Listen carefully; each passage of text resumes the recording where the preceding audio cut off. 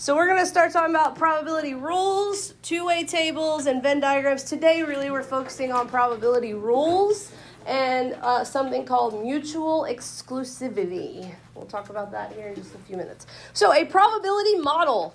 Probability model describes a chance process and includes two important things. The first thing it includes is the set of all possible outcomes. The set of all possible outcomes and that is called the sample space. The sample space.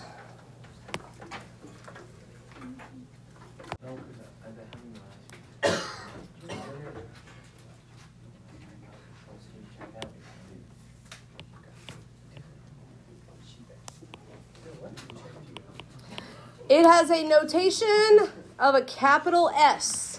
If you see a capital S, that means you are talking about the sample space. Also, in a probability model, you're going to have the probability of each of the outcomes. So, we're going to make a probability model for flipping a coin. So, the first thing we're going to need is we're going to need the sample space, and then we're going to need the probability of each of the outcomes in the sample space. So, when I flip a coin, what are my options? Heads or tails. There's your sample space. Your sample space is heads or tails. When I flip a coin, what's probably I get heads? One half or 50%. What's probably I get tails? One half or 50%. This is the probability model for flipping a coin. Now, make one for rolling a die. Should be easy enough. You're going to need the sample space, which is the list of each outcome, and you're going to need the probability for each of those outcomes. What is the sample space when you roll a die? One, two, three, four, five, six. And what is the probability of each of those outcomes? One sixth. So that's a really great question. Uh, no, you don't always have to do fractions. However, this w- probability is the only place in stats that you will see fractions. You will see decimals. There will be times that we will use decimals. So yeah, I very easily could have put 0.5 and 0.5 here, and that would have been fine. But like one sixth and one sixth, and like when you start having repeated decimals, we kind of prefer the fraction instead. So this is kind of one of those times where you might see either one.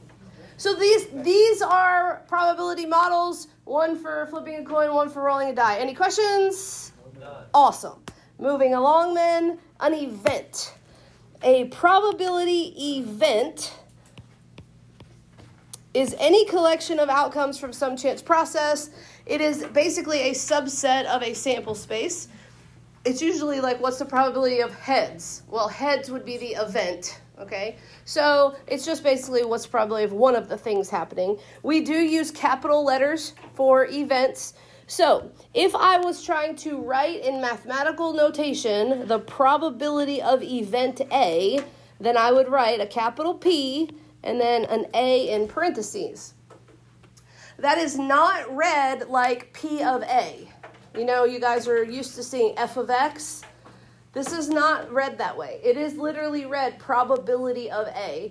You know that it's probability because you're in the probability section of whatever the question might be. So, probability of A, that's how you read that notation. Um, all right, let's look at this example. In a dice rolling example, suppose we define event A is that the sum is 5. Okay? Now, before we continue, do you guys know if I roll two dice and I add them up, how many different options are there for the outcomes that I might get? 36. Here's how you can tell. When I roll the first die, how many options are there for an outcome? Six. Six. When I roll the second die, how many options does it have? Six. Six. What is six times six? 36. So there are 36 outcomes that might happen, okay? It's those 6 times 6 combinations. So, getting a sum of 5. Here are the options for getting a sum of 5. I could get a 1 and a 4, a 2 and a 3, a 3 and a 2, and a 4 and a 1, okay? So those are my options for getting a sum of 5.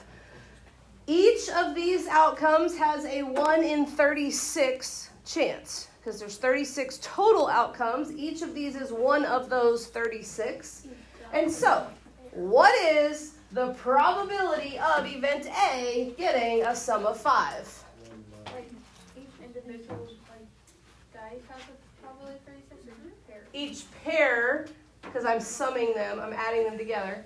So this is a sum of 5. This has a 1 in 36 chance of happening because there's 36 total options when I roll two dice and add them up. So the, the whole sample space is rolling two dice and adding them up, rolling two dice and adding them up. So I'm not looking at each one individually. The only reason I did that was to see how many options are there. All right, so if we have four ways that we can get a sum of five and we have 36 outcomes that are possible, then what is the probability of getting a sum of five?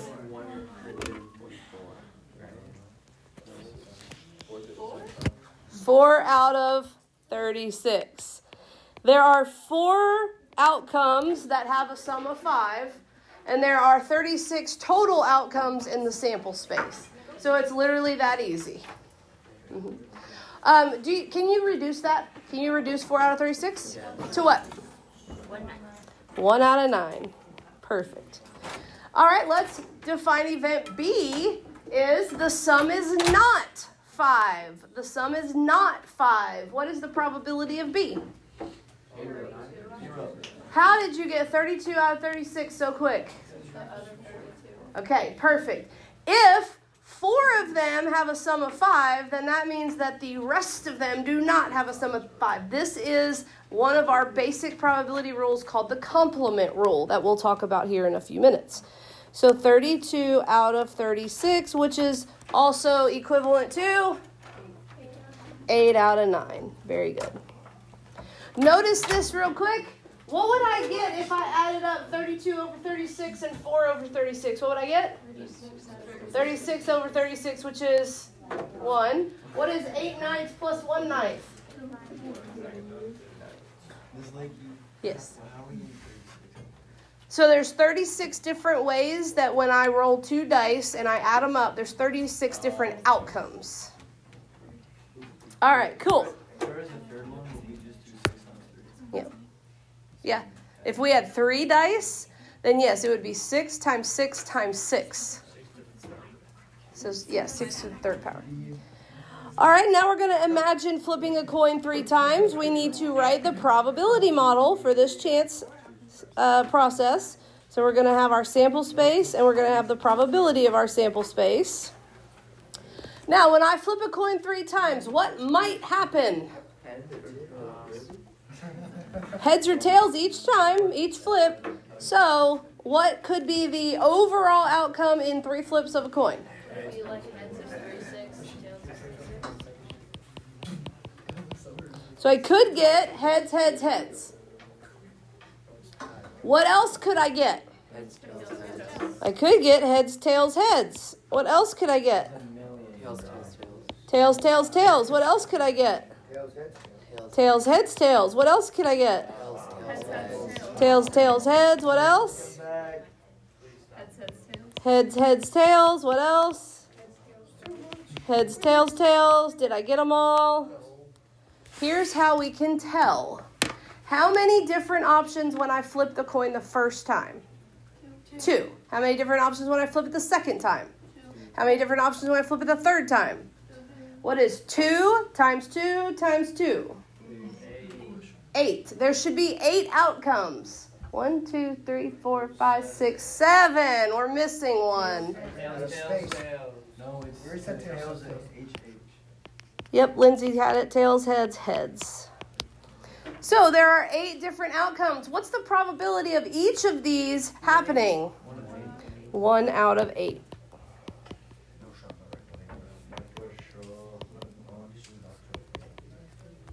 Now we're going to answer some questions. Find the probability of each of these events. Event A is getting two or more heads in three flips of a coin. What is the probability of getting two or more heads in three flips of a coin? Is it three eights or four eights? Does this one have two or more heads? Does this one? Does this one? This one? This one? This one? This one? This one?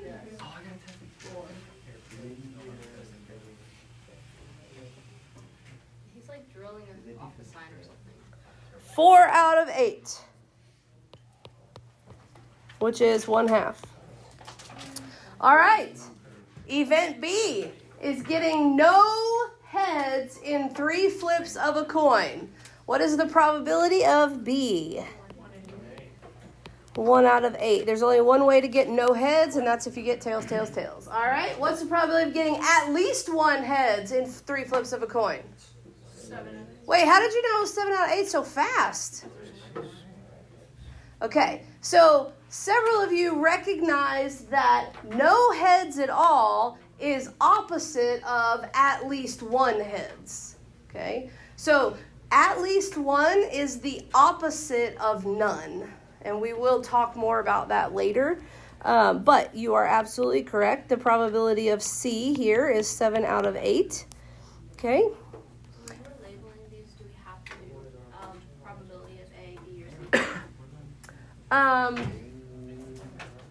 uh, that's kind of how you like show your work ish if it's something easy like this. So it's kind of, you know. All right, last question here. What is the probability of getting two or more heads or no heads? How'd you get five over eight, Lorenzo? Uh, I just thought like which ones only have one head because like three coins can only be like three options. Okay, good, good. So counting them up, uh, yep. So look, two or more heads or no heads at all. I can just kind of go across and see which ones those are. Here's another way you can do it. What's the probability of two or more heads? We actually found that already. That was four eighths. What's the probability of no heads at all? We found that as one eighth. So what can I do with these? I could just add those up and get the answer. Now, this only works because of the fact that they have no outcomes in common. And I'm going to give you guys what that's called here in just a minute. But I do want to also show you guys some notation that you may have never seen before. Maybe you have, I don't know. The probability of A or B. So, the or. The or in math, you use a union symbol, which is basically a U, like a capital U without the tail. So the probability of A or B. Because of the fact that these two things do not overlap, they have no outcomes in common, then all we had to do was take the probability of A and add the probability of B. And you'll see that written as one of the rules here in just a second. Okay? Cool, cool? Cool. So, you guys, in just that very short little amount of time, uh, 12 minutes, you have used five probability rules, the five basic rules of probability. You've used five of them, or all five of these already. So, the first one is that for any event, for any event A,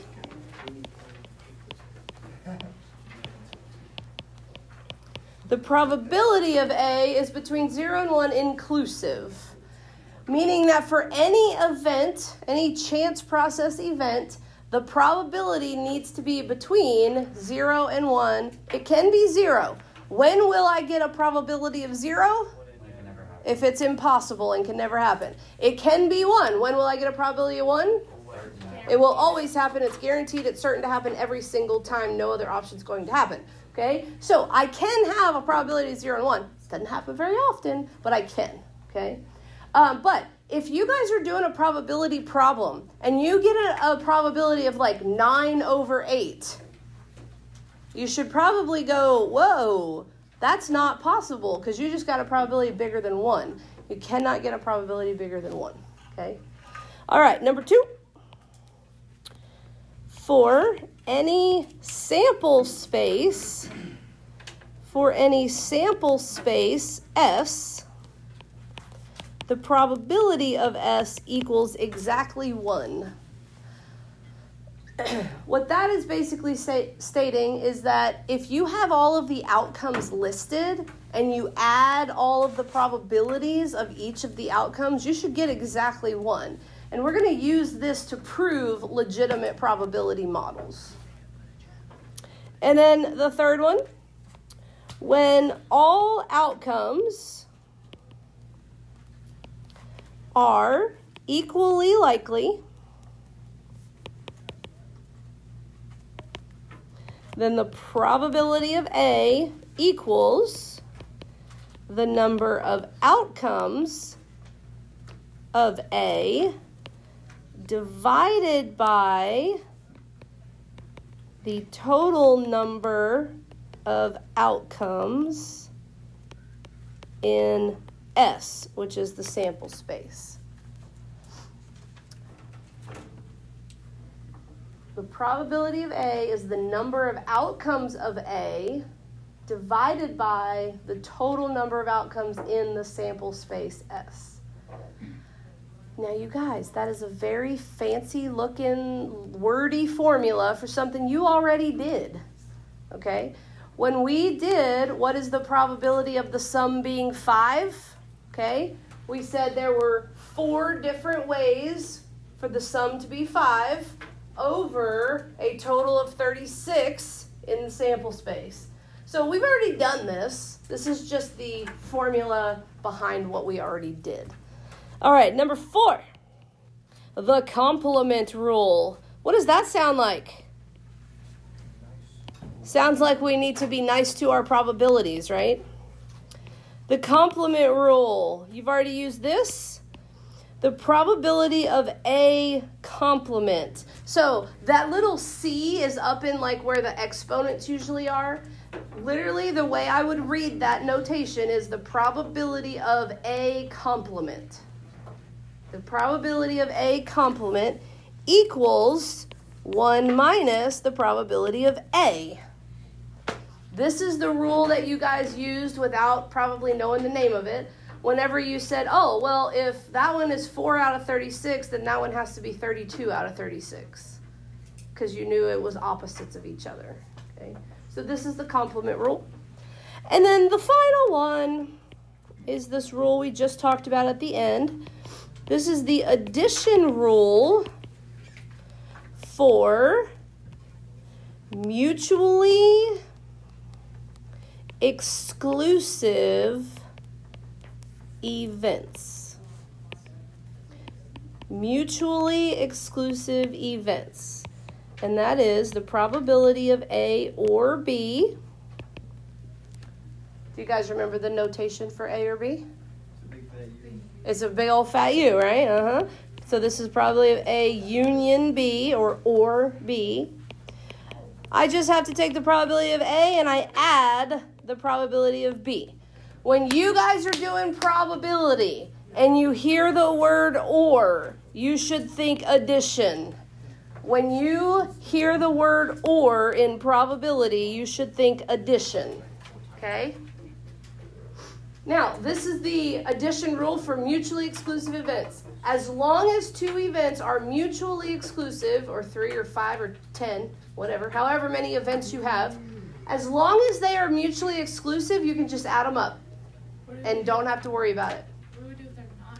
If they're not mutually exclusive, then you'll have to come back tomorrow so I can show you what to do. But for today, they will be. All right, so before we continue, do you have any question about any of these rules? Yes. Can you like define like mutually exclusive like Now I think we should define mutually exclusive. What does it mean for two events to be mutually exclusive? Look at you. Two events are mutually exclusive if they do not overlap, also known as share outcomes.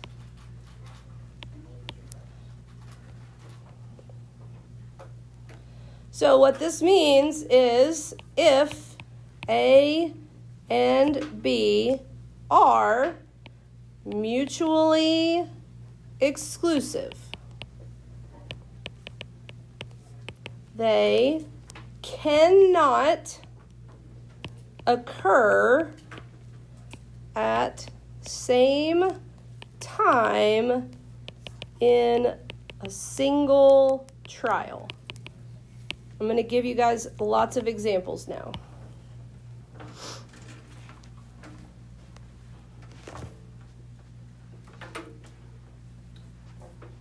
So, two events that are mutually exclusive rolling a 2 and an odd number on a die. Can I, in one roll, roll a 2 and an odd number? No, because 2 is not odd. So those two events, rolling a 2 and rolling an odd number, are mutually exclusive. They cannot occur at the same time in a single roll. Okay? Um, how familiar are you guys with a deck of cards? What are the what are the two colors in a deck of cards? Red and black. What are the suits in a deck of cards? Diamonds, hearts, spades, and clubs. Okay. What color are diamonds? What color are hearts? Spades? I found this on the web. Oh, we're playing poker. All right. Um, yeah. So, uh, what did I? Oh, clubs are, are black. Spades are black. Okay, cool. So here's some mutually exclusive events. Picking a heart and a black card. I cannot, in a standard deck of cards, get a black heart because they don't exist in a standard deck of cards. Okay. Uh, give me some other things that are mutually exclusive.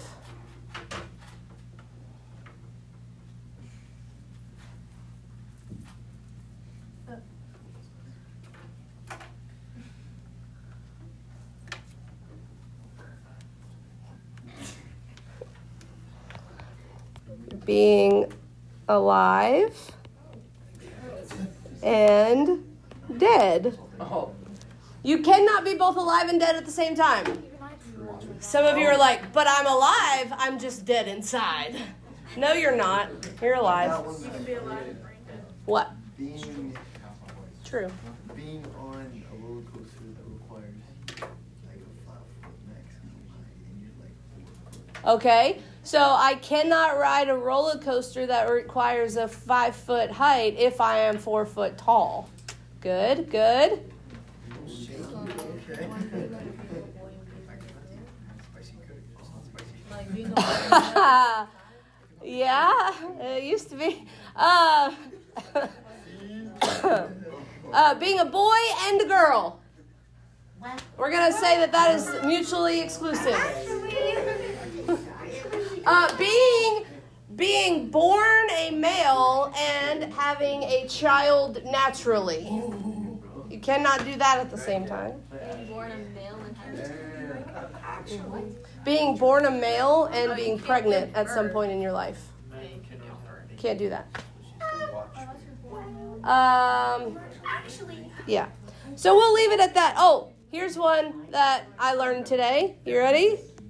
Breathing, like actively breathing, and swallowing. Did you know you cannot actively be taking a breath and swallow at the same time? You are all trying it right now, and that's totally fine. You should. You can't do it. Keeping your eyes open and sneezing. These are mutually exclusive events.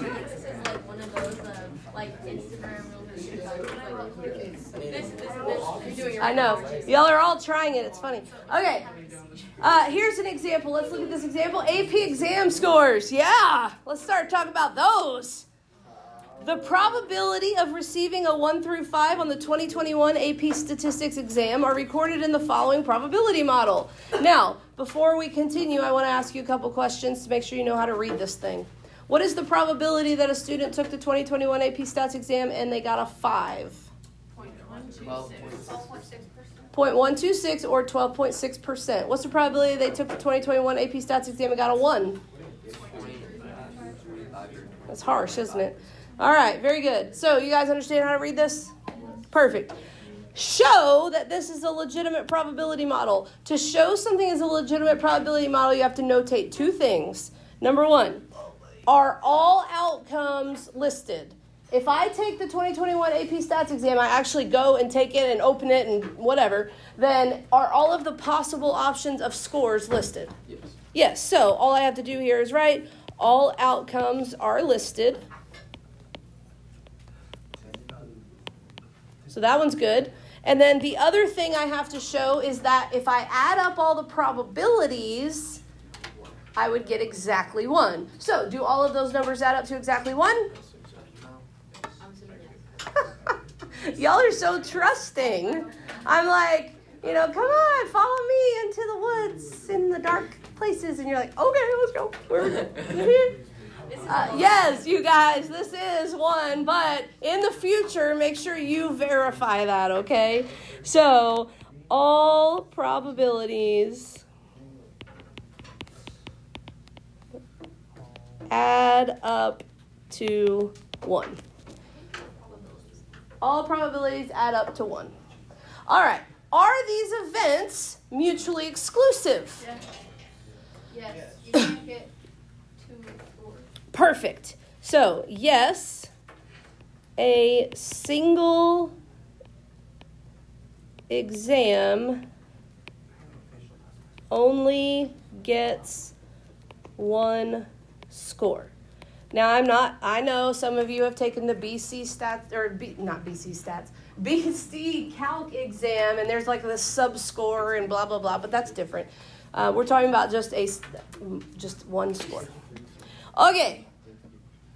Do math. Find the probability that a chosen student scored a three or better. So this is the probability that a student passed the AP Stats exam on 2021. How am I going to do this problem? I just have to add up the probabilities of three, four, and five. So the probability of a three or better is the probability of a three plus the probability of a four plus the probability of a five. Now, can I just straight add them up? Is that okay? Why is it okay? Because they are mutually exclusive, I can just straight add them. So I'm just going to add up the probability of a 3, the probability of a 4, and the probability of a 5. And you guys are going to tell me what the answer is. They are mutually exclusive because I can only get one exam score in a single trial.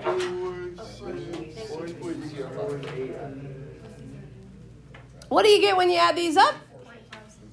0.577. Anybody else agree?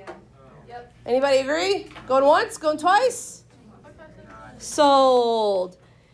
I have a question before we continue. Is there any other way to do this problem? Yes. How? Add up one and two minus one. I could add up 1 and 2 and subtract that from 1. Why? Why would you? I don't know, but you could. I'm just saying, you could.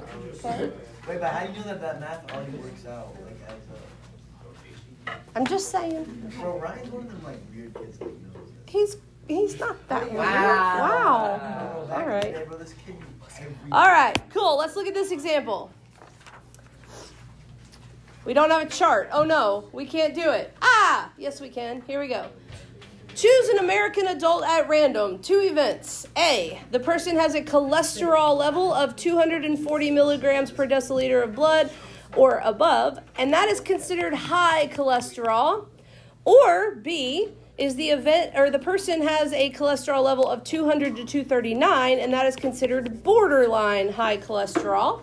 According to the American Heart Association, the probability of A, high cholesterol, is 0.16. The probability of B, borderline high, is 0.29. Ladies and gentlemen, before we continue, do we have the entire sample space? No. We do not. How do you know that? Because you're missing the medium. When I add those two numbers up, I don't get a 1. So I don't have the full sample space. But that's okay for the moment. I don't need it just yet. Explain why these events are mutually exclusive. Why is it that these two events are mutually exclusive? Yeah, when you guys get your cholesterol checked as you continue to get older, you will get it checked and you will get one number back, and that's it. And you will be put into a category. Hopefully, it's not one of these two, but you will be put into a category based on that one number. So you cannot be both high cholesterol and borderline high cholesterol. Okay? So, a single test result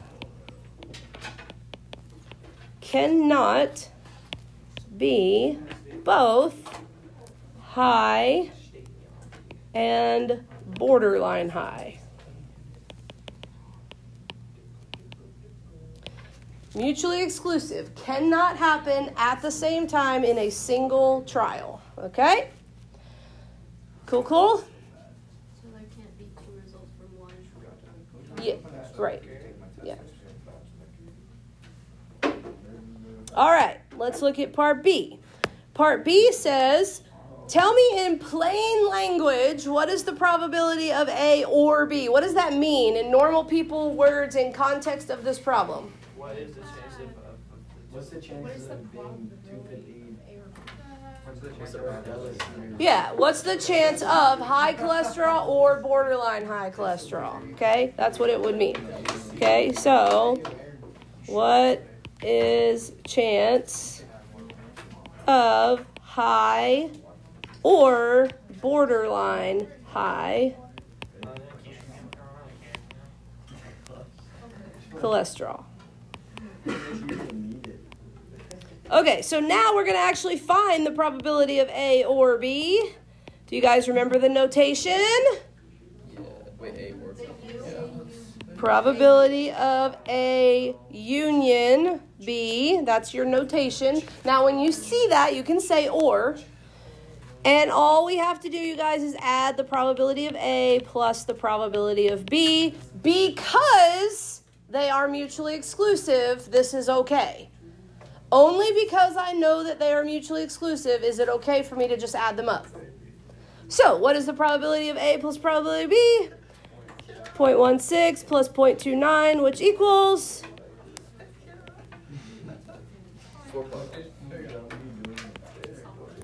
0.45. All right, ladies and gentlemen, and now we have the final piece of the puzzle. If C is the event that a person chosen has normal cholesterol, so below 200, what is the probability of C? How did you get 0.55, Garrick? Uh, you just subtract uh, 1 minus 0.45. So Garrick said all he did was take 1 and subtract 0.45. What probability rule did he use? The complement rule. about low cholesterol? Or like Uh, that's that, that's actually not a thing. Can't be low cholesterol. Nope. Nope. The probability of C equals 1 minus the probability of A or B. And so all we have to do is 1 minus 0.45, which is anyone? 0.55. And this used complement rule. No, you don't always have to say what rule you're using or any of that. I'm just doing this just to kind of show you guys when you're using what. For B, we have to write out A or B, A. B, A. No, so just so you guys know, generally speaking, from here down, showing your work from here, 1 minus 0.45, and then answering the question, this would have get would get you full credit on a you know homework or test or quiz or whatever. Um, I am just always going to use all of the notation because I want you guys to get used to seeing it and hearing it at the same time, so that you know how to read it when you're doing your work. Okay? Cool, cool. We're done for today. Yay.